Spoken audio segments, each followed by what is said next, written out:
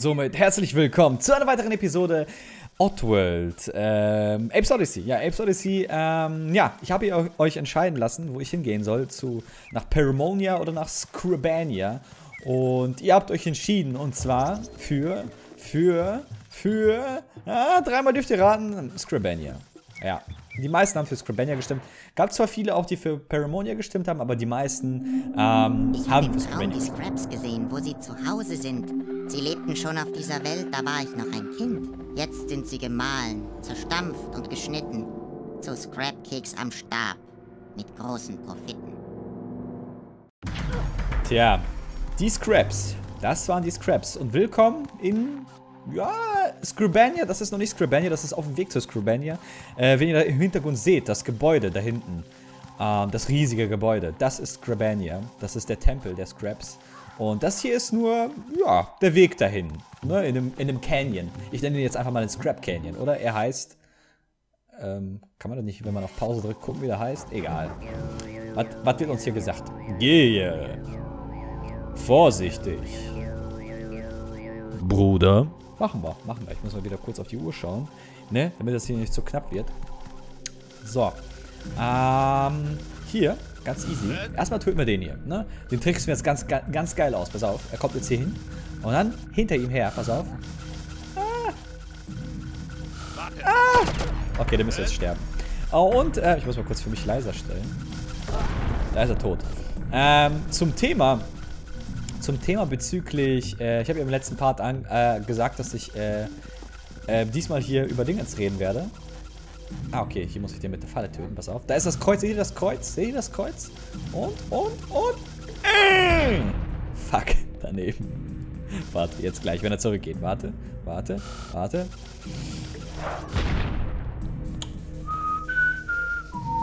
Für die Rebellion, Leute, für die Rebellion. Ähm, ich habe ja gesagt, dass ich hier mehr über den Mond sprechen werde und ähm, dass ich was dazu erzählen möchte. Die Story, die Story, die Background-Story. Ja, ich habe jetzt dadurch das Symbol da oben, äh, dieser Kreis, bedeutet, dass ich irgendwo einen Brunnen aktiviert habe. Irgendein Brunnen. Und das Kreuz hier steht dafür, dass hier was landet. Also hätte ich von dieser Seite den äh, Hebel aktiviert, wäre ich jetzt tot. Ja, deshalb weiß ich ja alles, weiß ich ja alles. So. Und ich glaube, der ganz hinten, ganz rechts wurde der Brunnen aktiviert. Was steht hier eigentlich? Ich lese mal kurz, was hier steht. Hier steht, um das Elum zu besteigen, stell dich davor und drücke nach oben. Ja, das Elum kommt gleich auch. Das ist ein Reittier.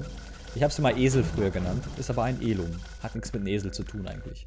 Ähm, ja, der Mond. Der Mond, ähm, der Mond und wieso da die, die, der, der Handabdruck von den Mudokons drauf ist. Ähm, lange, lange Zeit, bevor hier das hier alles geschehen ist, lange Zeit äh, hiervor, ähm, waren die Glackens, also die Bösewichte hier im Spiel, und die Mudokons eigentlich enge Freunde. Sie waren eigentlich enge Freunde und haben zusammen gearbeitet und hast du nicht gesehen, zusammen gelebt und ähm, da gab es auch kein großes von wegen, hey, wir sind äh, besser als ihr, ihr seid schlechter als äh, wir oder sonst was. Es, die war eigentlich immer Harmonie. Und dann eines Tages ähm, wurde, glaube ich, durch ein, durch ein, ein Unwetter, äh, durch, glaube ich, ein Unwetter, durch einen Sturm auf dem Mond ähm, ist halt äh, ein Krater entstanden, ein riesiger Krater entstanden, der dann so aussieht wie eine Hand von den, äh, von den Mudokons. Und das ist ein Zeichen. Oh, das ist Elum schon. Boah, habe ich mich gerade erschreckt. Das ist Elum. Wir nennen es mal Alfred. Hi, Alfred. Alfred das Elum. Ist wunderschön, oder? Sieht aus wie so ein kleiner. Hat irgendwie was von einem Dinosaurier, oder? Mit den, mit den starken Beinen und mit den kleinen, kleinen Händchen. Hat irgendwie was von, von, einem, äh, von einem Dinosaurier. Ist aber ziemlich süß, das Ding. Ist ziemlich süß, ja. Ähm, war äh, genau mit dem Mond, da ist halt dieser Krater entstanden. Und das ist ein, ein Zeichen, ein Zeichen hier in Oddworld, ein Zeichen dafür, dass äh, die Götter, die, die Götter oder halt die Herrscher über Oddworld damit äh, sagen wollen, wer, ähm, dass halt äh, die Mudok Mudokons, wollten mit diesem Zeichen sagen, dass die Mudokons die, die, ähm, die Superior, die Superior, äh, wie heißt das Superior, die halt die, ja, die Herrschenden, die Herrschenden hier in Oddworld sind, dass die halt die, die, ähm, ja, die, Herrsche, die herrschende Rasse hier in, äh, in Oddworld ist. So, und das hat natürlich den Glackens nicht gefallen. Ne? Das hat den Glackens nicht gefallen, so von wegen, hä, das, das finden wir scheiße. Und haben sich halt extrem verletzt gefühlt und haben sich alle im Untergrund versteckt. Sie sind von, haben sich von den Mudokons getrennt. Und, ähm, mal gucken, was in den Nachrichten taucht. Die Suche nach den heiligen Ringen, Bruder. Ähm, hier ist, hier ist nichts mehr, ne? Ich hoffe, ich finde, ich, ich hoffe, ich verpasse keine Secrets. Aber ich glaube, auf dem Weg nach Scrabania kommt kein Secret. Ähm, ja, jedenfalls. Ach man, jetzt lass mich doch mal aussprechen. Hi. Okay.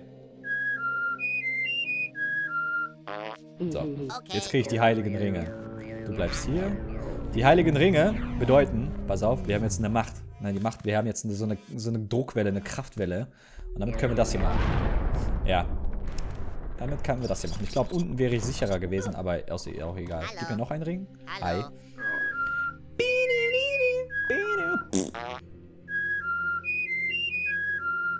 Okay. Dankeschön. So, und ähm, ja, wie gesagt, die haben sich, äh, die haben sich zurückgezogen, die Glackens. Haben sich komplett zurückgezogen ähm, und, und, ähm, ähm, und, ähm, so, das hier noch? haben sich komplett zurückgezogen in den Untergrund, haben sich irgendwo unter der Erde oder sowas, haben sich dort einen ganzen Industriestaat aufgebaut und haben halt vieles selbst gelernt und haben alles halt, ähm, wollten halt nicht raus an die Oberfläche, weil sie sich halt von dem, von dem Mond halt, ja, wie soll ich sagen, äh, beleidigt gefühlt haben und den Mond nicht sehen wollten und haben halt deshalb unter der Erde gelebt. Und dadurch, äh, das ist auch ein, ein ähm, wieso das, ähm, wieso, wieso die Glackens, alle Glackens, also Slicks ja auch, die haben alle leuchtende Augen. Das kommt davon, weil sie ihr Leben lang, also schon seit zig Jahren, tausend Jahren unter der Erde gelebt haben und sich so entwickelt haben, dass ihre Augen sich halt an die Dunkelheit gewöhnt haben und halt so leuchtend geworden sind. Deshalb leuchten ihre Augen, ja.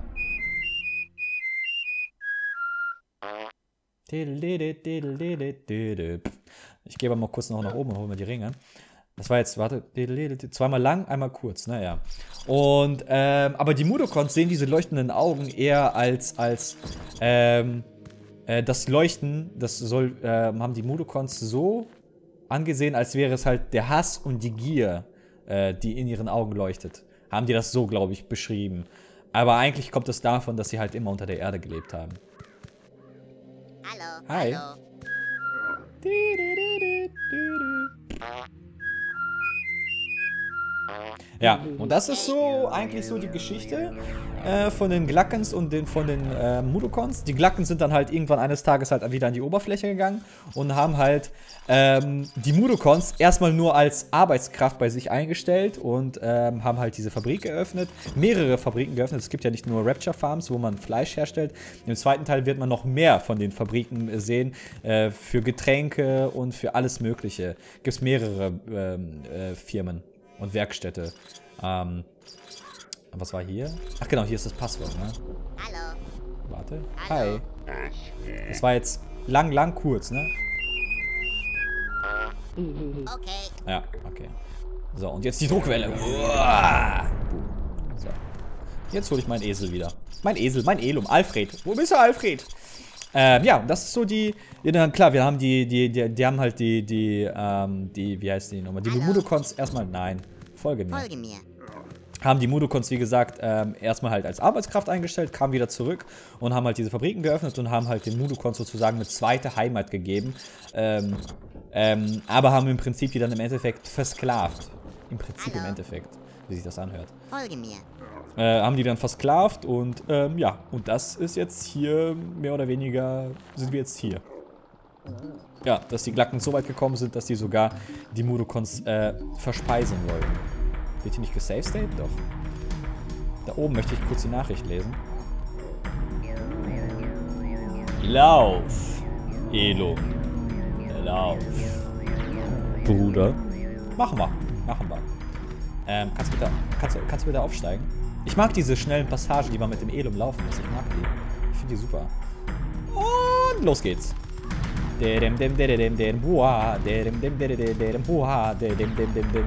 Oh mein Gott. Ich muss hier noch... Schaffe ich so rüber? Ja, schaffe ich. Perfekt. Und der Hintergrund ist super, Leute. Der Hintergrund. Seht euch das an, wie das aussieht. Damals, damals äh, war das der Shit, ey. Damals war das der Shit, als es für die PlayStation 1 rausgekommen ist. Damals war das der Shit. Damals zu der Zeit äh, das Einzige, was geiler war, danach, das Einzige, was danach was geiler war, von, von, von diesen Effekten, von der Grafik her und so weiter, das war damals, glaube ich, Final Fantasy VIII. Ne? Glaube ich, war das. Ja, was haben wir hier? Die Suche. Äh, ja, das USB-Gerät wurde nicht erkannt. Welches USB-Gerät wurde nicht erkannt? Ich hoffe, kein wichtiges. ich hoffe, kein wichtiges Gerät. Ähm, gut. Ähm, ja, was wollte ich jetzt sagen? Ähm, genau. Und diese, diese Geschichte, äh, diese Geschichte, wie sie so entstanden ist oder wie halt, äh, wie das halt alles entstanden ist, diese, diese Story und so weiter, ist an sich nur entstanden, weil, nehmen wir mal den mit hier. Folge mir. Folge mir. Ist eigentlich nur entstanden, weil, ähm, die damals, als sie halt das Spiel entwickelt haben, wollten sie eigentlich... Oh, da ist... Äh, ja, Elums, Elums lieben ähm, Honig. Ich glaube, das steht jetzt da auch oben, oder? Elums mögen Honig, aber keine Bienen. Bruder. Richtiger, richtiger Winnie Pusa. Das Elum liebt Honig, aber hasst Bienen, ja. Ähm, und das nur entstanden, diese Geschichte an sich ist nur entstanden, weil, ihr seid euch fest, es lag an technischen Problemen, wieso diese Geschichte eigentlich in Wirklichkeit entstanden ist. Denn, fuck, ich brauche Steine. Denn, ähm, wo kriege ich denn die Steine? Ach, hier, runterfahren, ja genau. Denn, hä? Wie komme ich jetzt an die Steine ran? Ich brauche irgendwo einen Brunnen, glaube ich. Äh, die Geschichte ist nur entstanden, weil, ähm, weil die eigentlich wollten die das so machen, dass äh, in der Cutscene, wo halt Ape halt mit dem Mond und so seine Hand so vorhält, die wollten eigentlich in der Cutscene das so machen, dass während Ape da in dem Dunkeln rumläuft, dass ähm, ein Meteor oder sowas oder halt ein, ein Meteorhagel oder sonst was auf den äh, Mond einschlägt. Auf den Mond einschlägt und ähm, dieser Krater dadurch entsteht. Genau dieser Krater in der Form von seiner Hand. Und das soll halt so verdeutlichen oder so zeigen, Ape, also dem Ape soll in dem Moment zeigen, so von wegen, hey, du bist der Auserwählte, ähm, wir führen dich. Also die Götter sollen ihm sozusagen ein Zeichen gegeben, so von wegen, du bist auserwählt, dass du alle retten sollst. Und ähm, ja, das ist halt das Zeichen, was dann Ape sehen sollte. Das haben die aber ähm, wegen technischen Problemen oder halt so, weil die halt äh, damals noch nicht diese Technik äh, hatten, das zu animieren, konnten die nicht machen und haben halt einfach die Hand schon vorher einfach draufgepackt. Und das mussten die halt irgendwie anders erklären. Also haben die das in irgendeinem Interview, in Interview glaube ich, haben die das einfach mal die Geschichte ganz anders erklärt. Und zwar so, wie ich das sie gerade erklärt habe. Ja. Hallo. Hi. Hallo.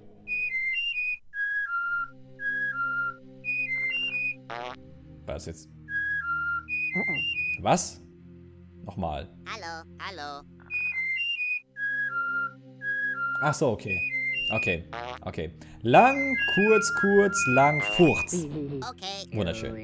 Ja, und das ist so eigentlich so die Geschichte von äh, den Mudokons und den Glackens, wieso die verfeindet sind und was da passiert ist. Und ähm, ist eigentlich im Grunde nur ein großes Missverständnis, mehr oder weniger, oder? Weil ähm, die Mudokons an sich können ja nichts dafür, dass die Götter sie ausgewählt haben, dass sie halt, ähm, dass sie halt die Auserwählten sind.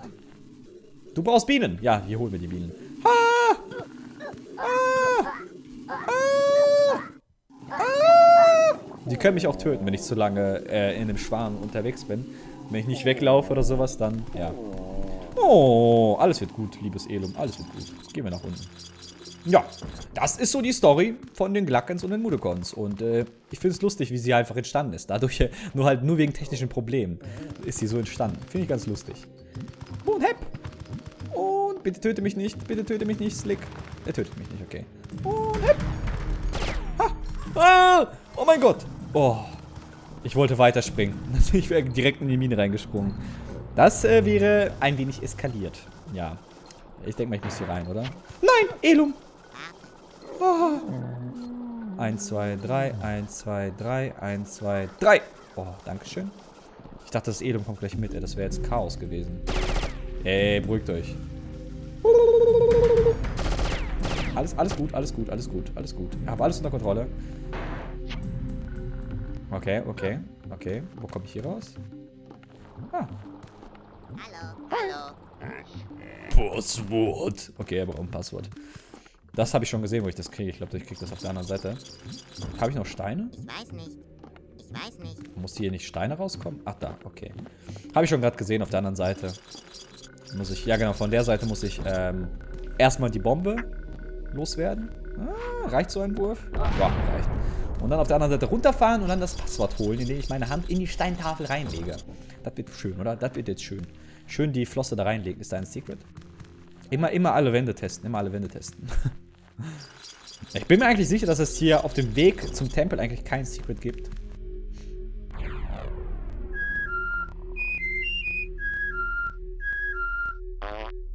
Nochmal, was?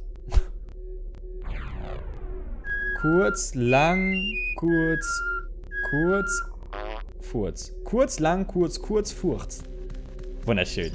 Wunderschön. Kurz, lang, ku nee. kurz, lang, kurz, kurz, Furz. Wunderschön. So, Bruder, ich habe dein Passwort. Hallo. Hi. Kurz, lang, kurz, kurz, Furz. Okay. Schön. Ich mag es, wie Ape furzt. Ich mag es. Äh, in dem Remake hat er auch, glaube ich, mehrere Furz-Sounds. Hier hört sich der Furz halt immer gleich an. Und im Remake hat er mehrere. Da variiert der Furz ein wenig. Da kommt auch ab und zu mal ein Feuchter raus. Boom, boom. Alles weg. Alles weggebombt. Jetzt kann ich auch die Slicks mir holen. Super schön.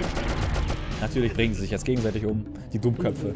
Ihr seid so dumm. Als würde euch das was bringen. Als würde euch das was bringen. Weißt du, du tötest deinen Kumpel, weil er, weil er, ähm, weil er, ähm, ähm, ähm, wurde. Verzaubert wurde. Und dann, und dann, ähm, ne? Und dann du Arsch. Oh, wo komme ich hier raus? Ah, ich wollte hier nicht raus. Und dann stirbst du doch sowieso, das weiß ich. Nee, ich habe ja schon entzündet. Entzündet? Entschärft. Entzündet. Fuck, jetzt muss ich wieder das andere, den anderen Tunnel nehmen. Entzündet, was mit mir los? Entschärft. So, hier rein. Einmal bitte Elum. Alfred, wir müssen weiter, ne? Wir können hier nicht ewig bleiben. Auch wenn du hier es schön findest, Alfred. Nein, wir können hier nicht bleiben. Und jetzt spring, Alfred. Danke. Hui, hui. Da ist der Fahrstuhl. Genau, perfekt. Ab geht's nach oben, Alfred. Ich finde die Hintergründe hier immer so schön. Das sieht immer so schön atmosphärisch aus. Finde ich super. Der Canyon. Der Canyon. Wenn wir Richtung Paramonia gegangen wären, dann würde es dort anders aussehen. Hallo. Hi. Hallo. Ich glaube nicht, dass ich das jetzt brauche, aber wieso nicht, ne? Wer weiß, was gleich noch kommt. Vielleicht vertue ich mich. Ich meine, hier müsste gleich direkt wieder eine Tür kommen. Und dann direkt ein Save Point. Ah, ja. Ja, ja, ja. Ich lag richtig. Ich brauche Anlauf. Ah! Heilige Schitte. So. Und? Nächster Abschnitt. Ich glaube aber, wird hier gespeichert? Oh, guck, guckt euch das, wie, wie schön das aussieht. Das sieht so schön aus. Ich mag das. Auch wenn klar, die Grafik ist halt nicht, ähm, nicht äh, optimal, nicht optimopti, aber trotzdem alles im, Wenn man bedenkt, dass es aus 1997, 98 ist, ist es trotzdem eigentlich wunderschön. Ja, ich mag's. Ich mag diesen Stil. Und äh, ich würde aber sagen, wir beenden hier. Wir machen hier Schluss, wir machen hier ein Päuschen. Äh, ich bedanke mich fürs Zuschauen. Wenn es euch gefallen hat, ne, ihr wisst Bescheid, wie ihr das zeigen könnt. Und dann würde ich sagen, sehen wir uns in der nächsten Episode von äh, Apes Odyssey Oddworld. Also bis demnächst. Tüdelü.